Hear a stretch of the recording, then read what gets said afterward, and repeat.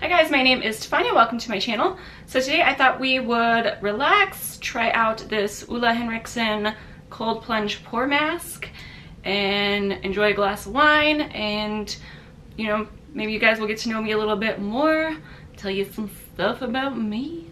So um, if you guys want to see how this applies and get to know me a little bit more, this should be a chill, relax. It's Friday afternoon and uh, yeah, I'm ready for the weekend. So keep watching if you guys want to see how this applies and how I think it works, if it's worth the 36 bucks. And if you guys want to get to know me a little bit more, please give this video a thumbs up if you enjoy it. I really appreciate it. I upload three times a week and I would love it if you guys subscribe and become part of my little YouTube family. So without further ado, let's try out this mask. Alright guys, so I did want to talk a little bit about this before I apply it. It says apply an even layer to clean dry face, leave on for 15 minutes, add cool water to lather and rinse off. Follow with the Ole Henriksen, Ole Henriksen toner, serum, or moisturizer of your choice. Use two to three times a week. So this is supposedly going to deeply purify pores, reduce oil with clay and snow lotus extract. So Purifies and instantly diminishes the look of pores with an exhilarating chill. Inspired by the cold plunge step off the Scandinavian sauna cycle. Blah, blah, blah. Okay, so overall, it's supposed to reduce pores. So I will get a little bit close up so you guys can see my face. Even though I hate this part when I'm editing it out. Like, I don't want to be this close to you guys. Um, but only thing I have on my eyes right now is I do have eyeshadow on, but no concealer anything like that. My face is clean and pure. So um, I will apply this off camera and be right back and we will just chit chat. So I'm gonna use an e.l.f. brush. I don't know what brush this is, but it's just an e.l.f. small stipple brush. I like to use brushes to apply masks just because I don't feel like using my hands is sanitary. I don't know if anybody else feels that way, but I just like the experience of applying it with a brush. So I'm going to apply it and be right back. Alright guys, so this is how it looks applied and I gotta say, not that it matters, it matters about skincare, but I love the color. Your Smurf dreams come true. It's so pretty. I don't know if that's weird, but I like it. I like it because of that. But I, will I'll do the honest, you know, we'll see if it actually diminishes my pores. But um, anyways, as far as the way it applied, it it was cooling, but it wasn't like if you guys have tried like the Becca Hydro Mist, that's like cooling. Like this wasn't like necessarily like applied cold. It doesn't say to keep in the fridge or anything like that. But just so you know, that way it's not like you think if you don't like cold things on your face, it's definitely not that cold. So let's set my timer on my phone. We got 15 minutes. So I'm gonna ramble for a little bit. Um, let's talk a little bit about me. So as far as things I did want to talk about first, actually.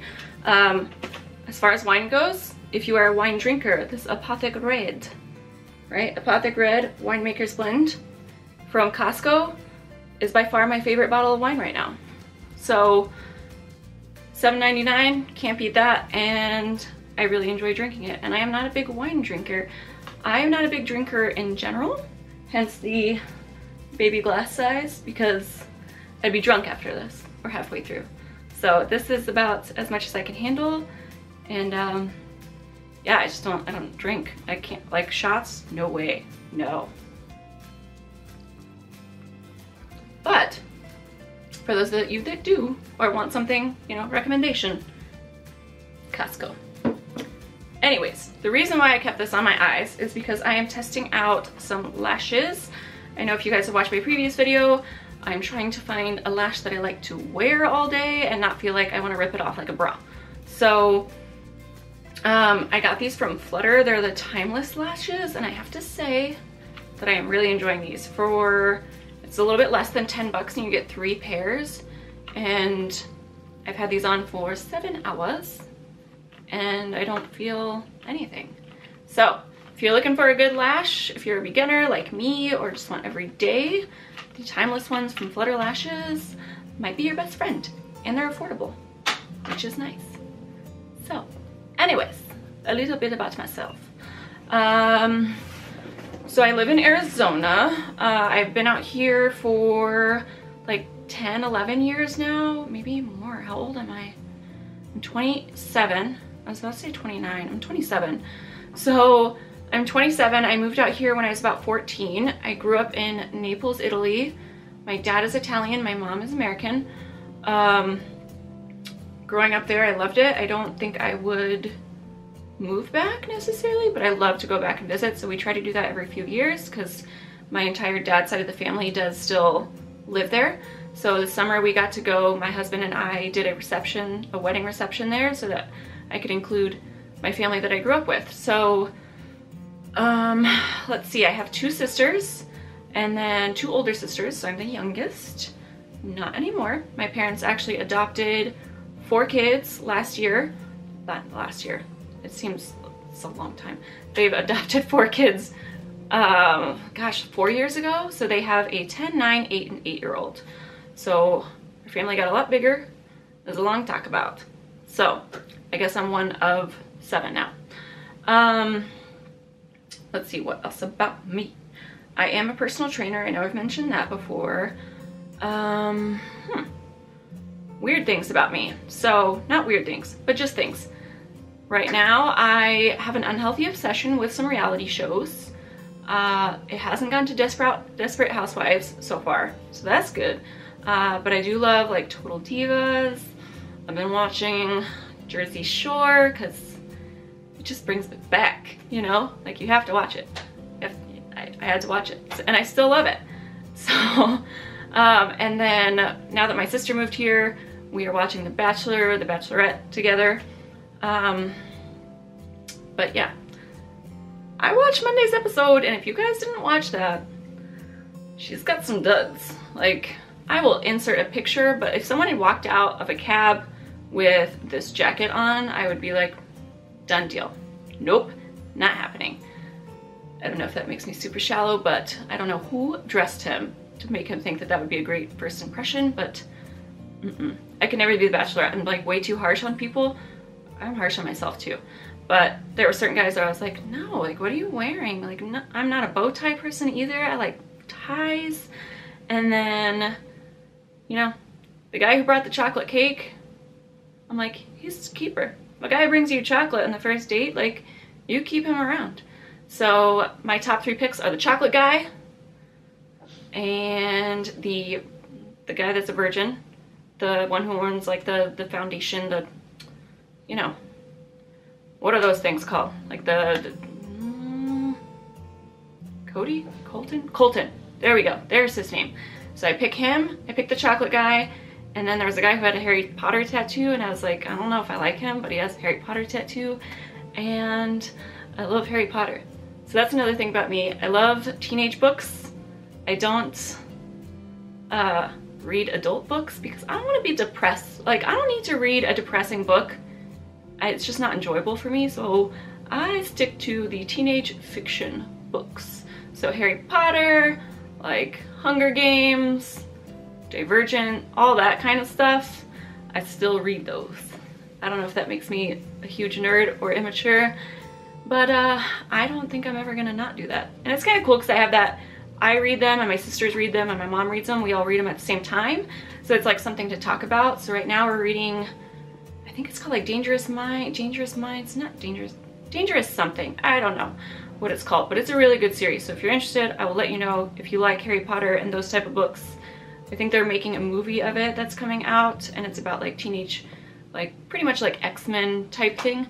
So anyways, I'll stop rambling about that. I thought I had my glass of wine in my hand. Okay, what else about me?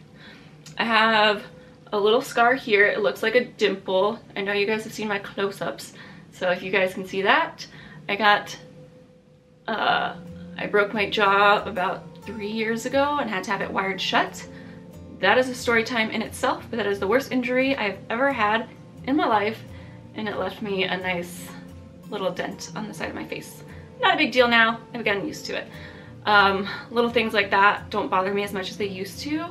Like, um, my birthmark is on my behind, and I was super insecure about wearing bikinis and stuff like that because there's no way to like hide it and I just kind of got over it like I had to compete in a thong obviously I do bikini competitions and I was so sure the tan was gonna cover it I was kind of stressing out and I was like the tan's gonna cover it perfectly like that is super dark I'll be good and it did not cover it and I was just like okay I guess I guess I just gotta it's just gonna be fine. They're gonna remember my butt when there's like 15 of us, 30 of us, 50 of us on stage.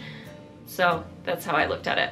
And then it was funny because I did a photo shoot, a fitness shoot like a few weeks later and the guy was like, oh, I can airbrush that out. And I was like, that's part of my body, like a big part of my body. Everyone would know it's not there. So, you know, I say if you have something, like just try to get as comfortable as you can with it. Now it's just, it's just there. It's just a mark. Skin is skin. You know, same thing with stretch marks, all that stuff. Try not to be insecure about that because everybody's got them. So, uh, uh, uh, uh, let's see. My favorite animal is elephants. I can't own one, so I have two dogs and I am watching my sister's dog that is in Iraq. So we have three big dogs right now. I have a Weimaraner, a Pit, and a, what is she? She's a Golden Doodle. That's what she is. So full house right now, a lot of barking a lot of awful licking noises in the middle of the night, which it's like oh, scratchboard. Like I hate that sound. Hate it. Like I can't, I, I'm a very light sleeper, so that stuff drives me absolutely insane. Um, I'm trying to think of what else to tell you guys. I don't know. Um, I watch a lot of shows, which is really embarrassing, but I do. I love like Walking Dead type shows. I like a lot of like ER type-ish shows. Like I've been watching Code Black and 911, is that what it's called? I don't know.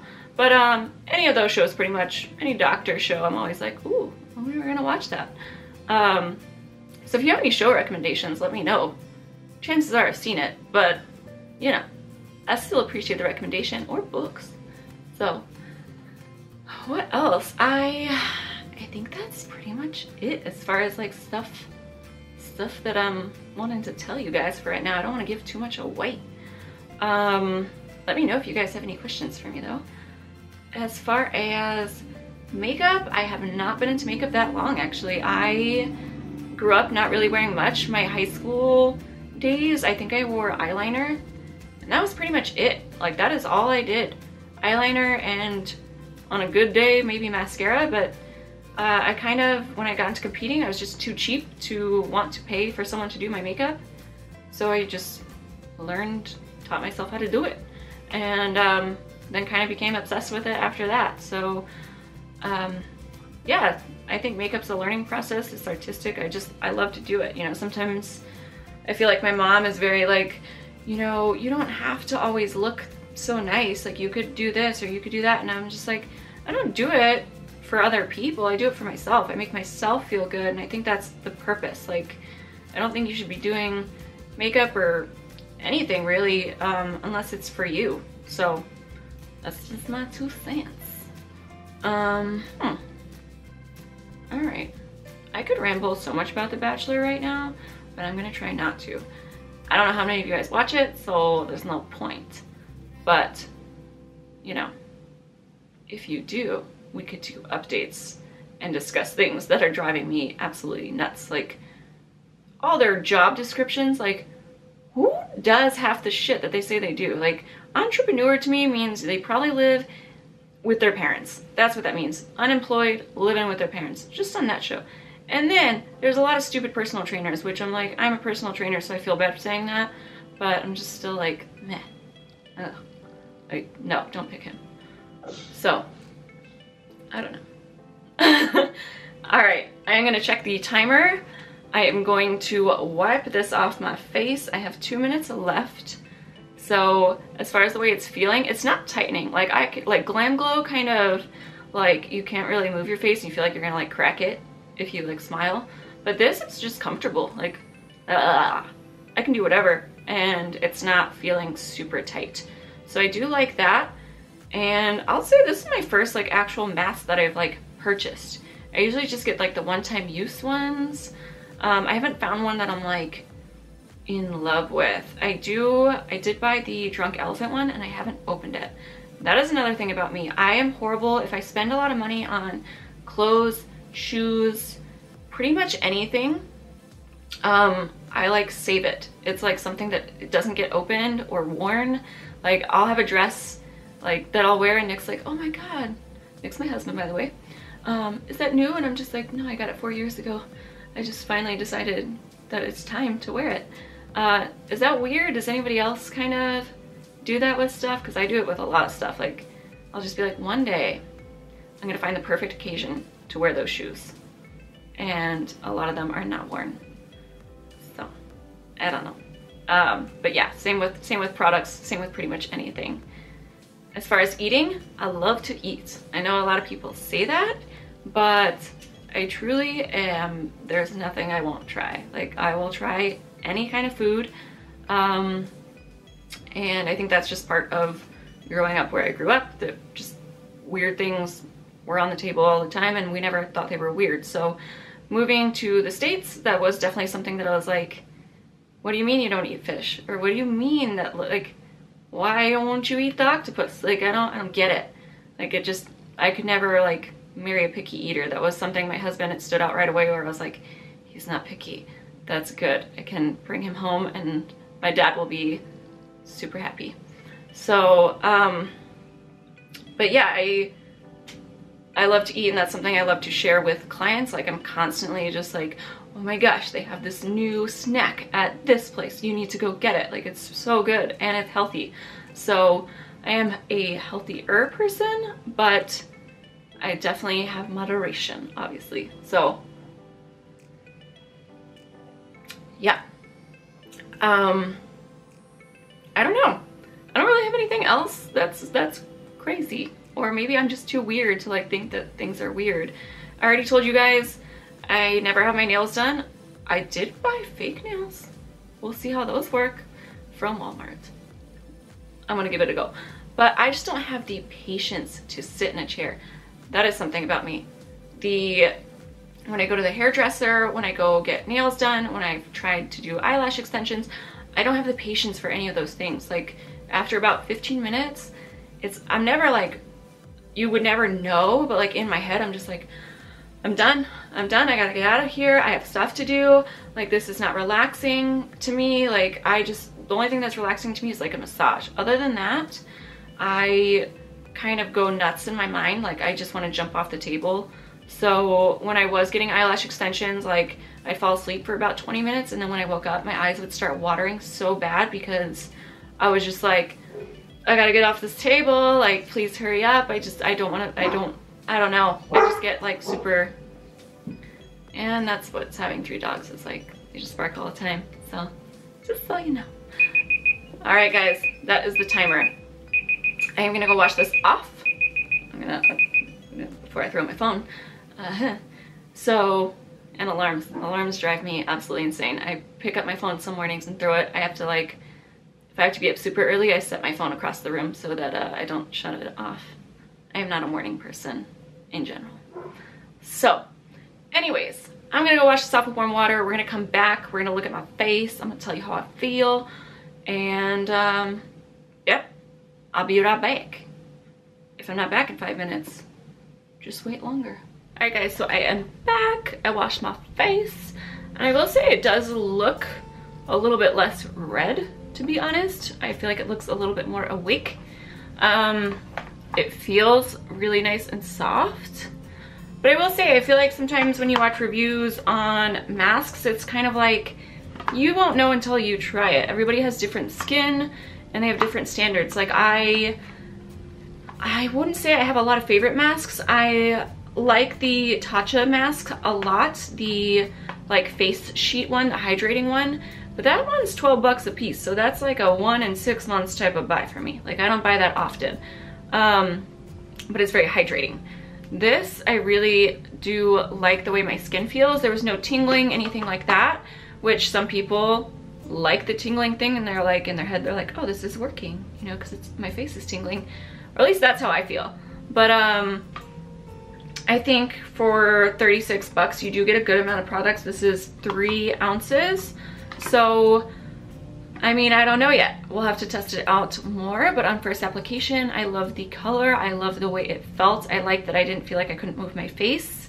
Um, and then just to being completely honest, it's like, I feel like skincare sometimes is more for the experience. And I had a really good experience with it. Like it applied smoothly. It, the color was just fun and it just reminded me of summer and it's just kind of a fun product to use and I definitely felt relaxed and nice and you know that's just what I look for in a mask what's gonna make me feel good so um, if you've tried it let me know if you're gonna pick it up let me know but yeah I mean it's it's too hard to be like everything looks amazing like you guys can see up close as far as my pores I don't have giant pores but I do feel like it definitely did something. You know what I mean? Like, I don't feel like it did nothing and I just spent 36 bucks for no reason.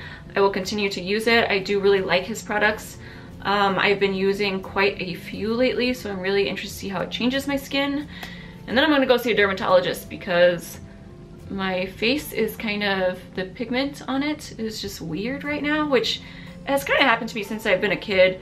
And it goes away and then it comes back and it goes away and comes back, so I'll be an adult about it and actually go see somebody. Um, but yeah, that is it. I hope you guys enjoyed this kind of just chill, relax, you know, getting to know me type video. Um, if you have any questions or, you know, I could always do a story time about, you know, about this whole situation so that you guys can actually see it. Um, cause that's a fun one. But anyways, if you enjoyed this type of video, please hit that like button and please subscribe. I greatly appreciate it and it lets me know what type of videos you guys like to watch. And that is it. I hope you guys have a re really good rest of your weekend and enjoy it. I got through this video without a nip slip, which I am super proud of because I love the robes, but I was a little worried. But I was like, I'm not gonna put a bra on to like ruin my facial mask experience.